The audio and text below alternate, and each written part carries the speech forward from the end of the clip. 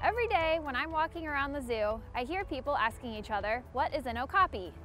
Their stripes make them look like they're related to a zebra, but they're actually the closest living relative of the giraffe.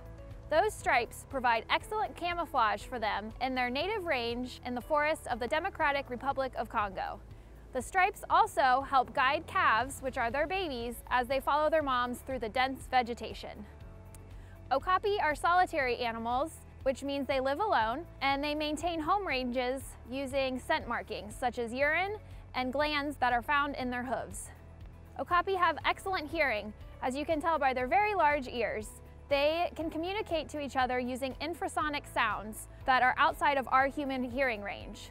Those sounds are also outside of the hearing range of predators, which is very convenient as their main predator is a leopard.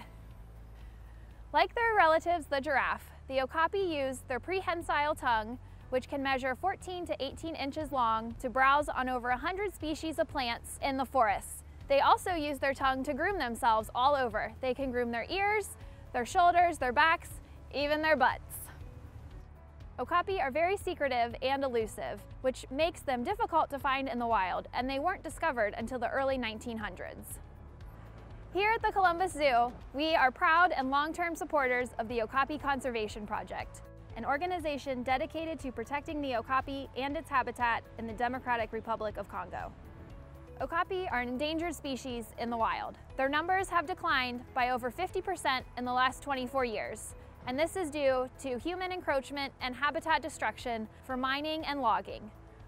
The mining is done for the mineral coltan, which is found in our cell phones. So the best thing you can do to help Okapi is to recycle your old cell phone when you get a new one. And if you're by the Columbus Zoo and Aquarium, you can bring it here and we'll do it for free.